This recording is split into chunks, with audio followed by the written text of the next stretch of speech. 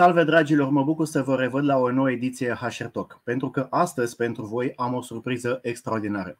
Eu am să-i spun doar atât, Andy, pentru că în momentul în care veți vedea în câteva secunde când va fi alături de mine despre cine este vorba.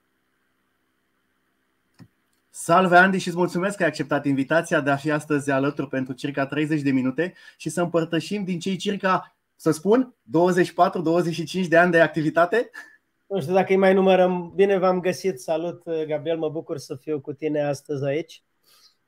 Îți, îți mulțumesc. Dacă stăm să ne gândim în secole, putem spune deja că e un sfert de secol de da, când da. ai intrat în această activitate. Și când mă gândesc că am mai făcut și vreo 5-6 alte joburi înainte, deja trebuie să dau jos TVA-ul ca să mă simt mai tânăr. e bine așa și cu cei 19-20% din, din activitatea proprie. Uh, Andy, așa cum îți spuneam și ție mai devreme, o să le spun și participanților, uh, primul moment în care eu te-am întâlnit pe tine live. Era la o conferință, seriile AS, din uh, toamna lui 2012 și atunci tocmai te descoperisem eu pe, canalele, pe canalul tău de YouTube în care vorbeai despre partea de formare, despre partea de vorbit în public. Și așa cum ți-am spus și atunci și am observat în acești 11 ani aproape de când te, te știu, vorbești din experiența proprie, ceea ce contează foarte mult. Pe lângă cărțile de dezvoltare personală, lucruri pe care le citim, le învățăm în traininguri, în cursuri, că și tu știu că participi, vorbești din proprie experiență, Andy. Cum e să vorbești din proprie experiență? Da, uh, când vorbeai, mintea mea s-a dus în două locuri și anume la faptul că atunci când am început nu vorbeam din experiență, dar nu exista pe piață comparabilitate. Și norocul meu a fost că vorbea cineva, nu neapărat din experiență, că am început pe la 25 de ani, dar vorbea despre ceva ce nu exista. Și atunci uh, am avut acest noroc sau intuiție să pot să vorbesc despre un subiect interesant pentru oameni. A fost șocant la început pentru mine cât interes exista. Mi-aduc aminte că eram uh, student la Iași. Începând să fac lucrurile astea, m-am trezit la un moment dat că uh, le fac pentru mine și discutând cu prieteni sunt tot felul de oameni interesați de așa ceva. Și fiind oameni interesați, am zis hai să aduc niște trainer sau speaker din străinătate în România să văd care este reacția pieții. Și a fost șocant pentru că la un moment dat în Iași, când nu exista noțiunea de conferințe internaționale, umpleam o sală cu 120 de oameni pentru că venea un trainer din UK, din Marea Britanie, de exemplu, sau din Austria sau din Slovenia chiar, să ofere idei despre ce înseamnă dezvoltare personală, psihologie practică, tehnici de management al stresului, de comunicare, etc.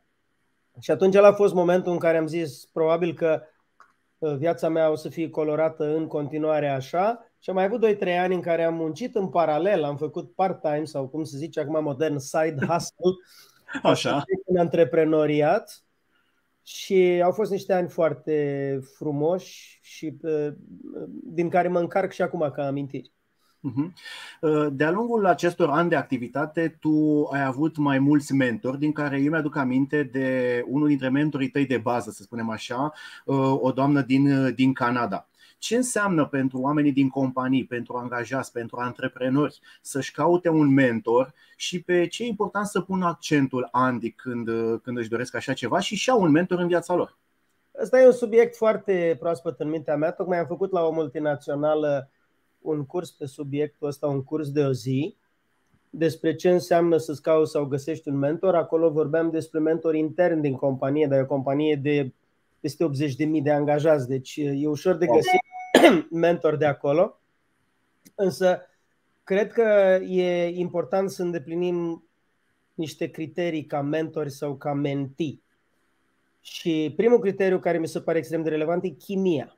Uh-huh. Ai chimie cu omul ăla, uh, ți-ar plăcea să stai de vorbă cu el despre orice și trebuie să fie reciproc. Toate criteriile astea pe care le dau sunt reciproce, adică mutuale. Trebuie să se întâmple de ambele părți. Dar chimia e unul dintre ingredientele magice, aș spune, pentru o relație de mentorat reușită. Asta nu înseamnă că dacă n-ai chimie cu cineva, n-ar trebui să uh, faci o încercare, că s-ar mhm. putea să se întâmple și varianta în care pofta vine mâncând, însă eu cred cu tărie că e necesar să avem această chimie. După aceea, caracterul. E nevoie ca acel om să aibă integritatea necesară pentru a își asuma rolul de mentor, adică să vrea să te ajute cu adevărat și nu să fie doar o conversație din categoria n-am timp sau din categoria ce mi iese mie din asta. Uh-huh. Și al treilea element important aș spune că este competența, evident, mulți l-ar pune primul probabil, dar competență nu înseamnă că acea persoană trebuie să fie campion mondial. Uh, văd prea des această abordare în care uh, vreau să lucrez cu cei mai buni, zice cineva. Mhm. Dar tu la ce nivel ești? Că dacă încă n-ai început, nu o să te ajute cei mai buni, că nu o să înțelegi. Corect. Atunci dacă abia începi, regula mea este să fie cu 2-3 ani pe cale înaintea ta pe același drum.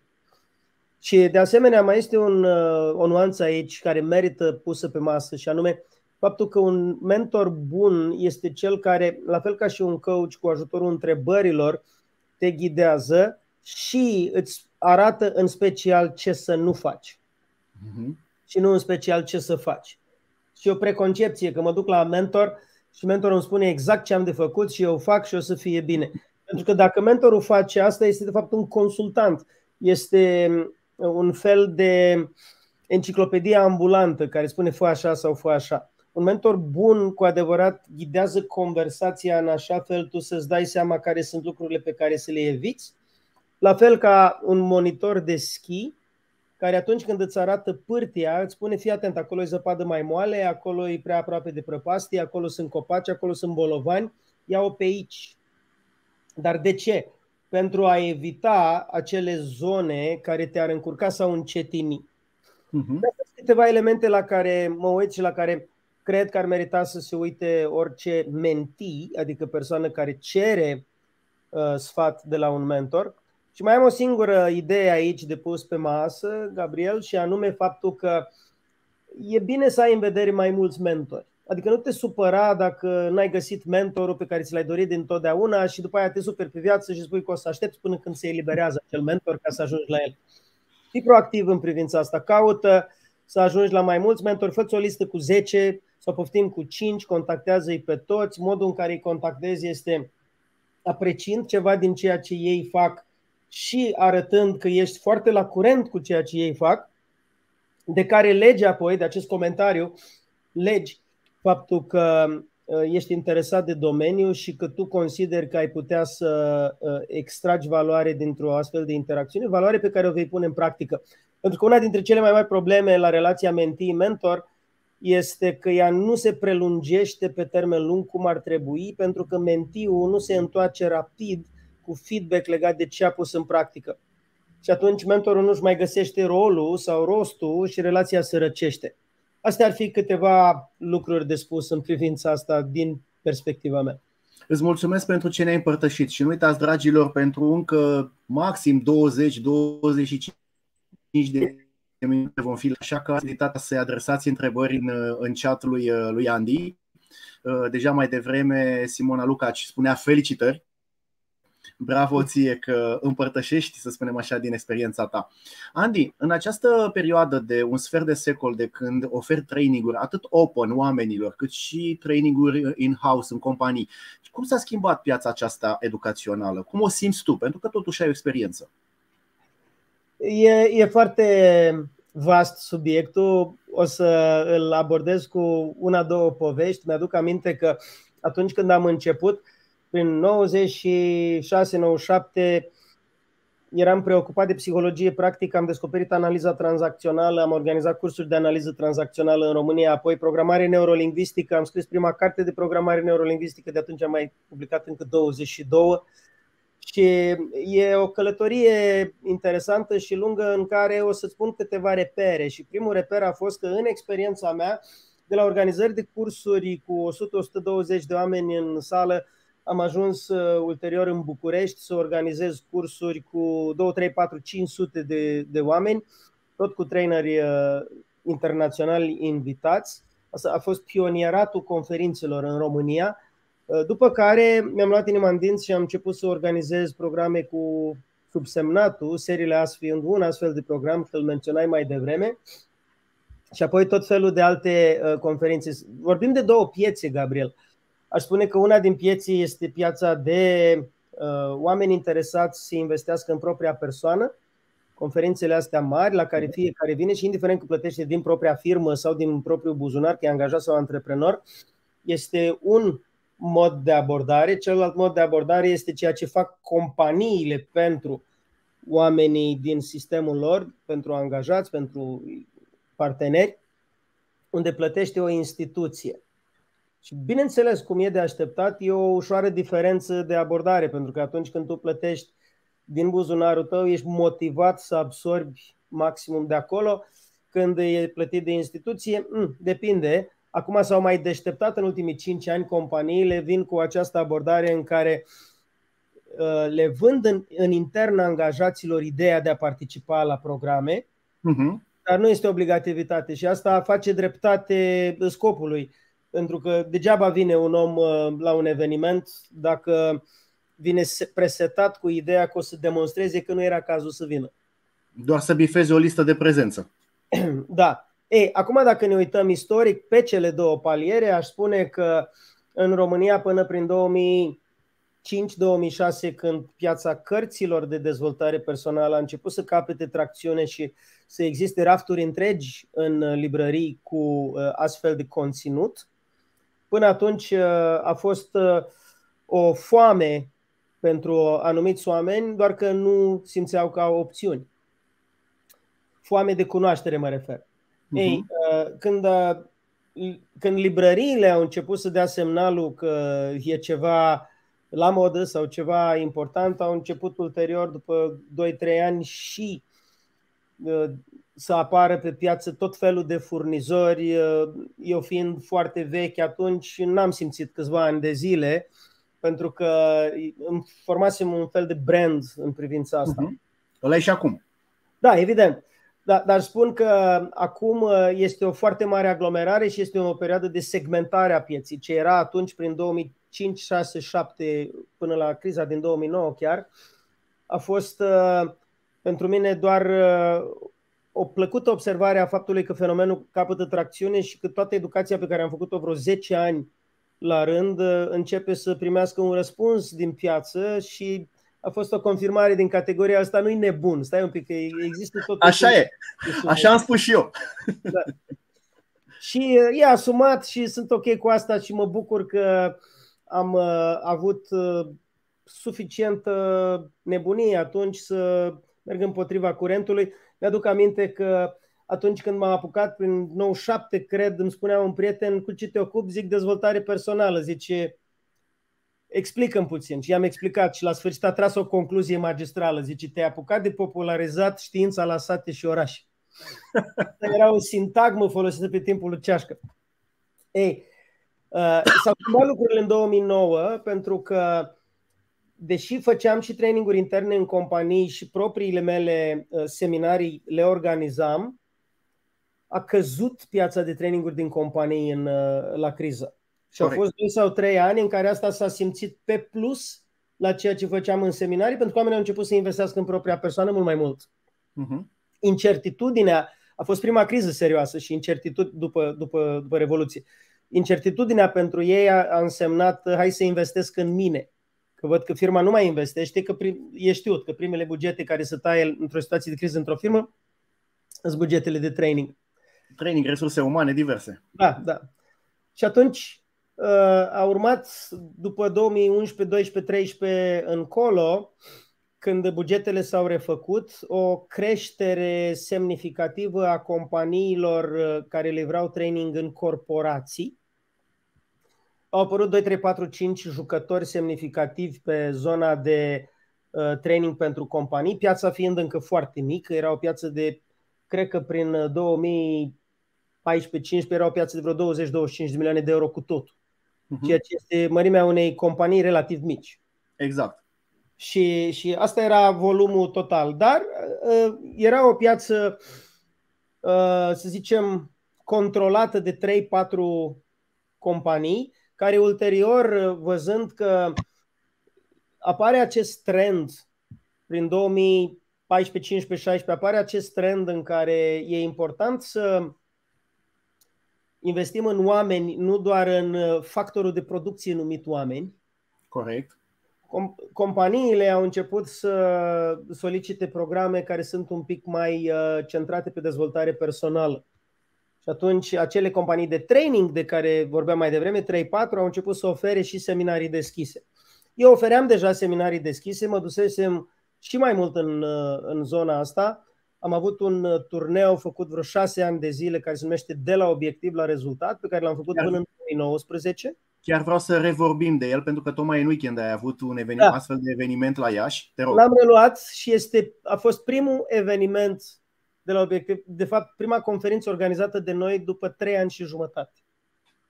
A fost uh, fabulos, uh, o mare bucurie să mă reîntorc în astfel de evenimente organizate de noi, pentru că este ceea ce îmi place cel mai mult să fac, de fapt.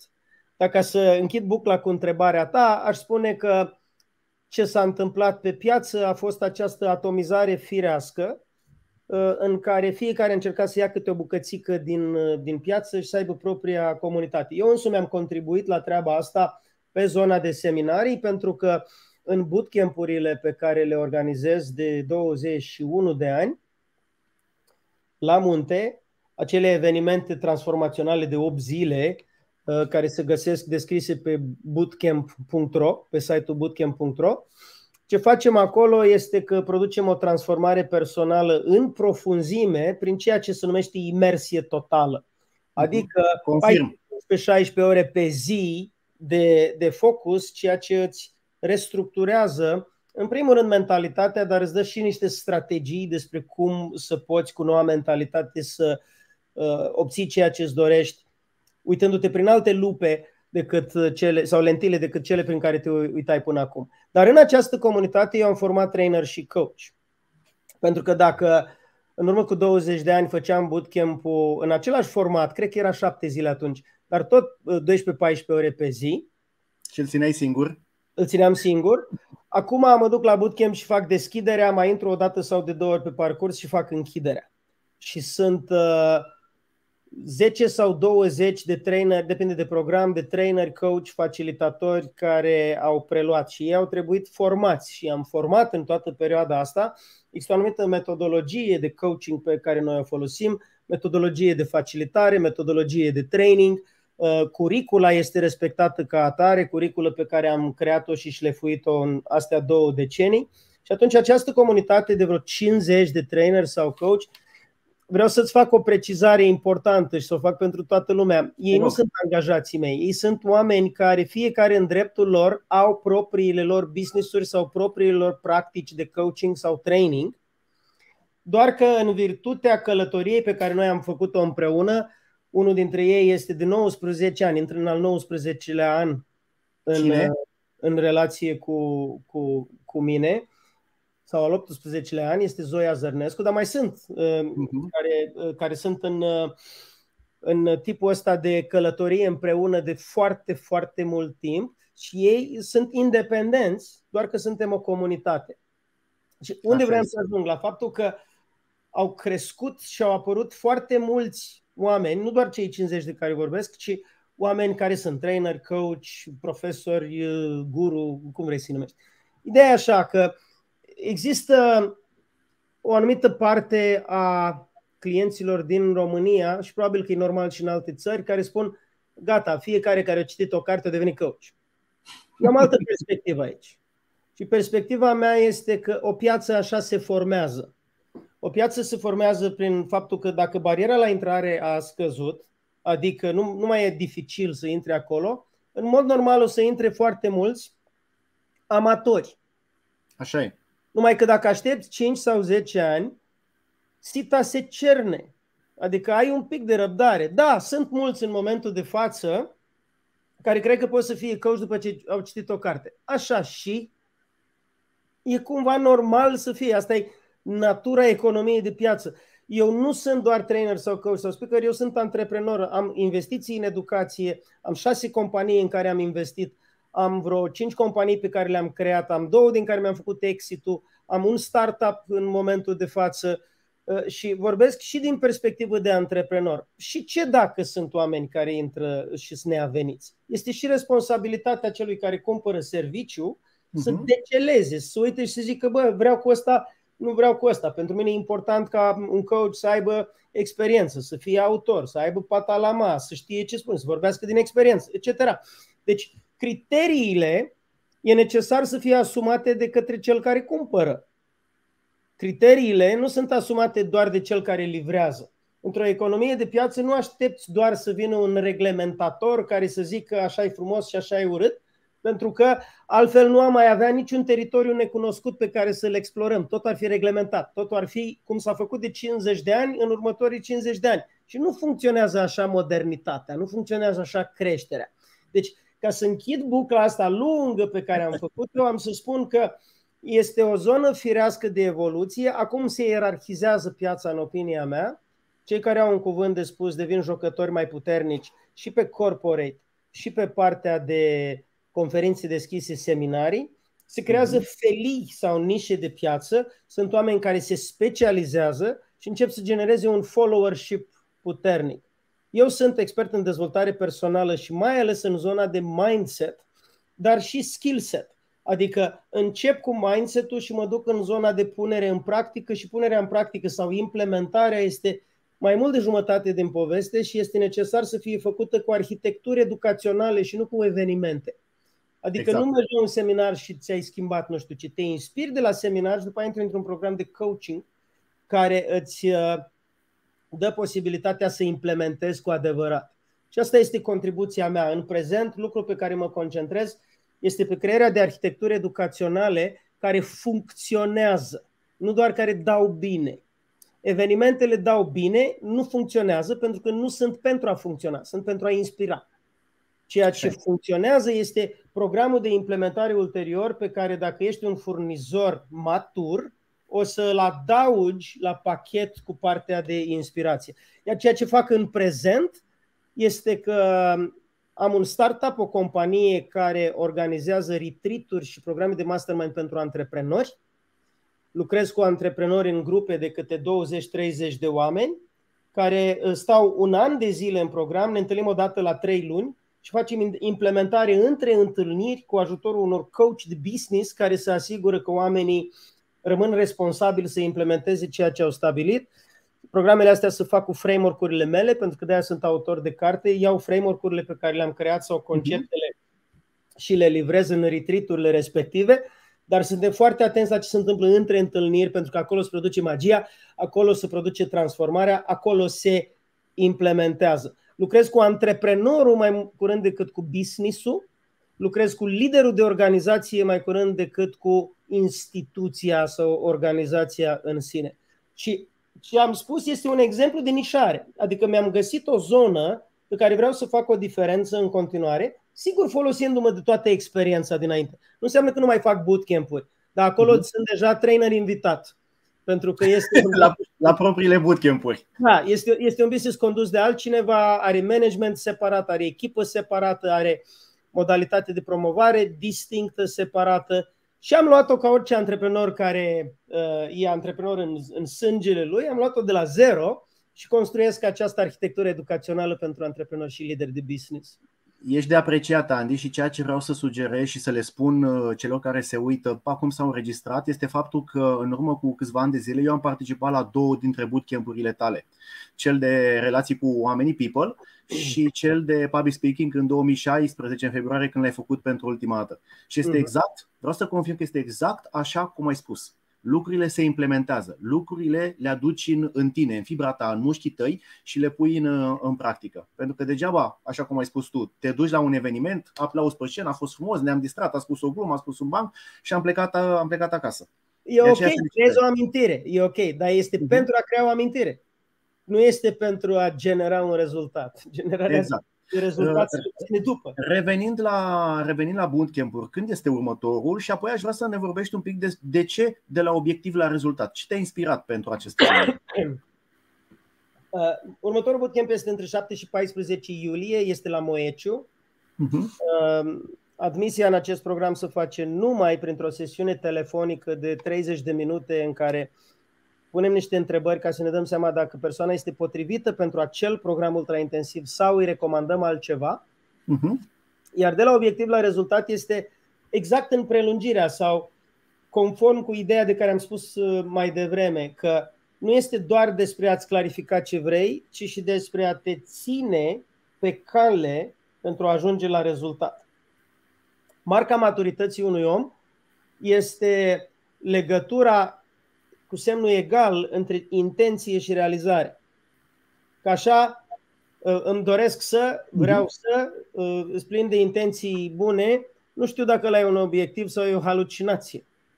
Când ajunge să fie pus în practică obiectivul și să fie asumat uh, efectul și consecințele, atunci putem să spunem că omul a progresat cu adevărat. Pentru că altfel să fii doar plin de intenții uh, bune, funcționează o dată, de două ori, de trei ori, funcționează la copii, uh, la adulți uh, avem nevoie de materializarea rezultatului ca să putem să ne dăm seama care e valoarea generată și pentru ceilalți, nu numai pentru propria persoană. Aș zice că e o modalitate de a trece de la mentalitatea de victimă la mentalitatea de victorios. Super. Super. Asta e esența de la obiectiv la rezultat. Cum treci de la asta? De la niște scuze la niște mize. Uh-huh. De la a te asigura că viața nu este despre scuze de ce nu s-a întâmplat, ci despre o miză atât de importantă încât, cum zice englezul, you give whatever it takes. Adică dezvolți acea energie curajoasă și fermă în interiorul tău în care te duci până la capăt ca să obții acel rezultat. În foarte mare măsură ce fac în sală n-are nicio legătură cu online-ul pentru că îi port pe oameni printr-un proces în care literalmente să simtă în mușchi și în celule ce înseamnă energia fermității și a curajului. Uh-huh. Uh, și din punctul ăsta de vedere, când te duci la un concert te simți într-un fel pentru că te miști, când te duci pe stadion te simți într-un fel pentru că te miști, fac și eu asta în sală cu oameni. Dar nu o fac în stilul ăla american uh, care este oarecum nepotrivit pentru Europa de Est, pentru România, Uh-huh. Și o fac explicându-le pas cu pas de ce funcționează, care este locul în care se merită să faci o astfel de, de punere în stare, cum să o faci cu control astfel încât să fii uh, foarte adecvat cu contextul în care te găsești, dar să o faci. Corect. Pentru că este necesar să ne punem în starea de a face. Avem popular expresia asta, nu știu dacă mai este în alte țări. Domne, nu mă simt în stare. Răspunsul meu este întotdeauna, pune-te în stare, pentru că uh-huh. poți să te pui în stare, pentru că ești stăpânul, stăpânul sistemului tău nervos Așa și e. poți să faci asta. Dar nu o fă pentru show, fă-o pentru tine și pentru rezultatele tale. Pentru că orice progres începe cu primul pas și dacă nu faci primul pas în starea potrivită, mintea ta va fi invadată de scuze. Dacă faci primul pas în starea potrivită, o să ajungi la primul succes. Și când ajungi la primul succes, care apropo este o succesiune, adică ajungi la succes după ce ai făcut ceva, atunci vei fi în alt loc, te vei încărca și cu energia progresului, te uiți în spate și spui, wow, am realizat niște lucruri și asta îți dă și mai multă energie să continui.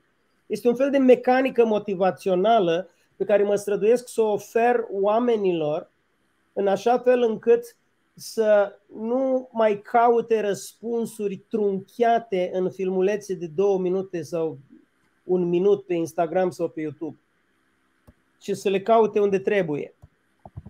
Acum că tot ne apropiem spre finalul întâlnirii noastre, doar două lucruri aș vrea să, să mai spui.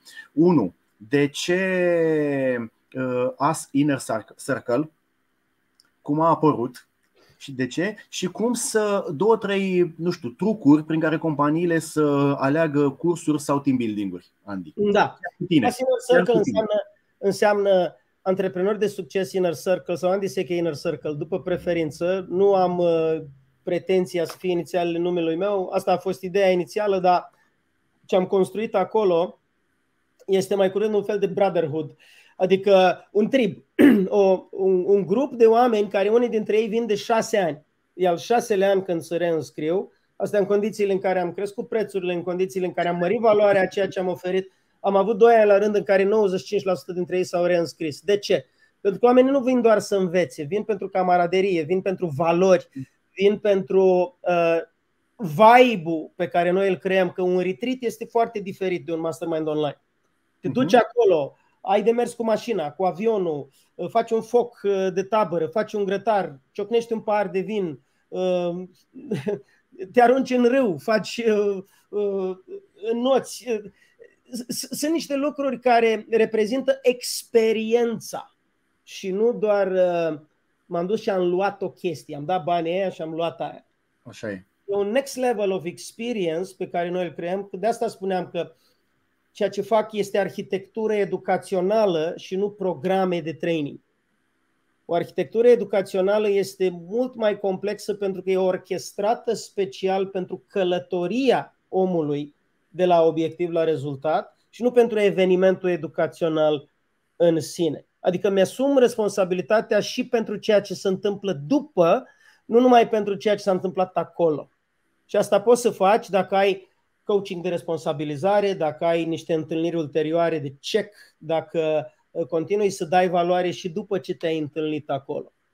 Dar este un butic de excelență, nu este ceva mass market, pentru că, apropo de tips and tricks, este vorba asta corporatistă, că orice produs trebuie să ajungă pe piață și să fie product market fit. Probabil ai auzit. Product market fit. Toată lumea vorbește, investitorii vorbesc de product market fit. A, da, adică produsul să fie potrivit pe piață la momentul oportun. Numai că nu e destul în anumite tipuri de business-uri. Așa în anumite tipuri de business-uri e nevoie de founder product market fit. Adică tu ca fondator să te simți fascinat și motivat în permanență de a crește valoarea, de a mări energia, de a uh, ridica nivelul de experiență al clienților. Și asta te crește și pe tine, îi bucură și pe ei și crește și business-ul de asemenea. Nu toate modelele de business trebuie să fie modele care să scalează prin tehnologie la nivel mondial. Dacă mhm. te uiți în cifre absolute, sunt mult mai mulți antreprenori care sunt happy având business-uri cu ecosistem sănătos, decât antreprenori care sunt happy pentru că au crescut 10x, 3 ani la rând, câte 2x, 5x, 10x, 100x, 1000x și așa mai departe. Este moda asta cu scalabilitatea.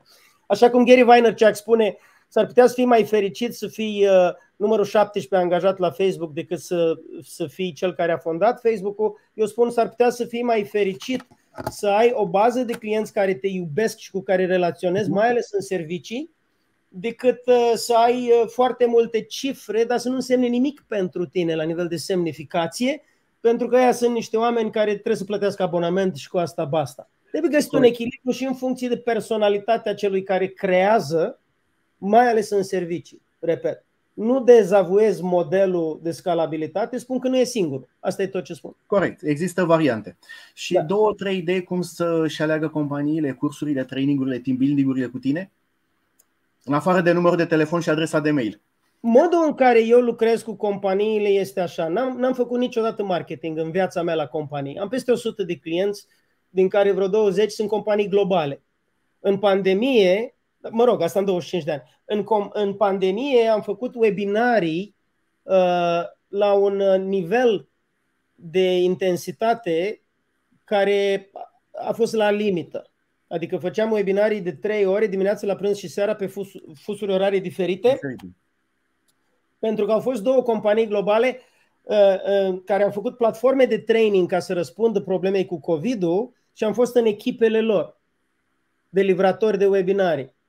Uh, și acolo am avut ocazia să lucrez uh, direct online cu culturi extrem de diferite din, uh, din lumea asta. Dar preferința mea este să lucrez cu companiile atunci când înțelegem ce înseamnă customizare Corect. și ce înseamnă impact de eveniment, nu la nivel de 80%, ci la nivel de 90%. Adică, marea majoritate a livratorilor iau traininguri off the shelf. Au pe raft un anumit training, trainerii au învățat pe de rost manualul, vin la companie și livrează. Respect acest model, este ok, doar că eu nu lucrez așa.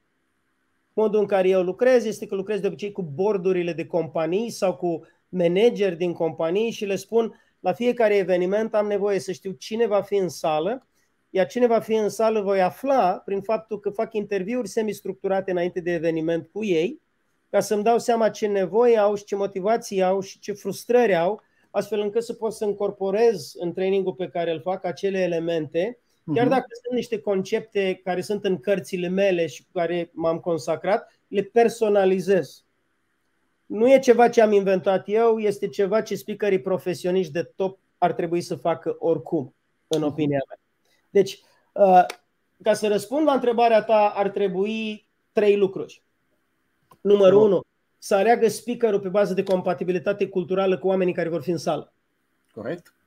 Numărul doi, să prefere un speaker care se pregătește înainte pentru un oarecare grad de personalizare pentru eveniment, pentru storyline-ul evenimentului respectiv și nu un trainer care vine off the shelf cu niște slide-uri pe care nu le-a mai schimbat de 10 ani și pe care le livrează. Și numărul 3, să caute un speaker care face, propune ceva și după eveniment, un fel de follow-up, orice formă de follow-up care să aibă grijă nu doar de partea inspirațională de la eveniment, ci și de cum anume oamenii sunt ajutați contextual să aplice ceea ce au aflat și le este ușurată munca de aplicare, că de fapt partea grea începe când suntem în evenimentul. Uh-huh. Și dacă speakerul are disponibilitatea să ofere ceva în acest sens, uh, cei care organizează, event organizerii, să înțeleagă valoarea acestui fapt și cu cât oamenii pleacă acasă mai blindați cu resurse pentru a implementa, cu atât uh, pe termen lung vor da o valoare mai mare organizațiile respective celor care au participat la acel eveniment. Astea sunt cele trei ale mele. Andy, îți mulțumesc. Apropo de timpul pe care noi doi l-am stabilit, l-am depășit cu un minut și 20 de secunde, deci ne-am da. încadrat, să spunem așa, în ceea ce ne-am uh, propus. Mă duc să-mi iau copiii de la grădiniță, da. Cu recunoștință îți mulțumesc că ai acceptat invitația de a împărtăși din experiența și din valoarea ta și nu uitați, dragilor, așa cum a scris și Luminița mai devreme în, într-un comentariu pe Facebook, zice așa, felicitări Andy, în lumina celor spuse de tine, aștept și, uh, și, cu, și cu mai mare entuziasm conferința DOR de la obiectiv la rezultat de la Este București. acum, uh, în câteva zile, este sâmbătă la, la București Uh, evenimentul e aproape sold out, uh, o să fie o, o sală mare cu mulți oameni entuziaști care vor să crească și vor să, să simtă din nou vibrația aia în corp, care e cea mai valoroasă după părerea mea, mai ales după atâția ani de stat cu fundul pe scaun și uitat în, uh, în ecran. Are valoare și asta, dar n-ar trebui să o uităm pe cealaltă, pentru că acolo e despre emoție. Așa este. Andy, îți mulțumesc din suflet, să ai o seară minunată, complimente alor tăi și succes în tot ceea ce faci. Toate bune! Mulțumesc Dragilor, foarte Cu drag. Dragilor, nu uitați că ne vedem la o ediție ulterioară HR Talk. LinkedIn, care este canalul principal de transmisie. Vă mulțumesc și vouă pentru asistență.